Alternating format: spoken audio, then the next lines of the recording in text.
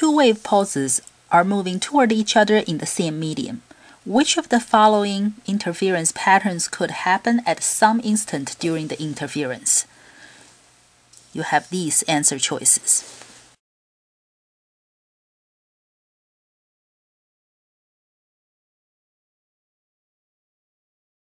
Let's see. When these two waves overlap completely, so this when this wave gets to here and that wave gets to here, they overlap exactly and you add the displacements together using superposition principle, you will get a straight. So 1 is possible. Now let's see number 2. If I put this wave here and then that wave overlapping with this one halfway like this. Then and this hump will be the same as this and that one is still the same as that.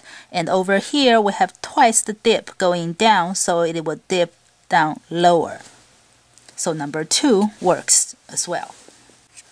Number three is a bit tricky.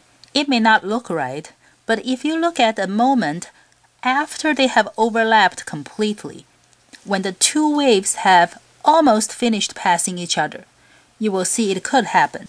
So when this wave has reached the left side, and that wave has reached right side, the waves will look like this. So this part is the same, that part is the same, and then these two peaks overlap and gives us a bigger peak. So number three is also correct. So the answer is E. A 2 meter long string oscillates in 5 loops at 80 Hz. The wave speed on the string must be 32 meters per second, 64, 160, 200, or 800 meters per second.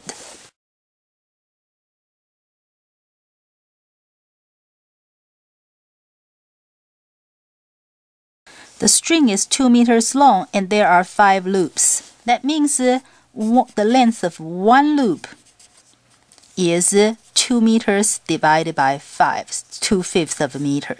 And the, the length of one loop is always half a wavelength. So if I multiply by 2 on both sides, I get the wavelength, which is uh, 4 fifths of a meter.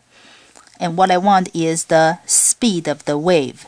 Speed is frequency times lambda.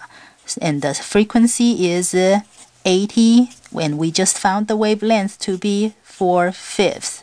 So this gives us uh, 320 divided by 5, which is uh, 64 meters per second. So the answer is uh, B.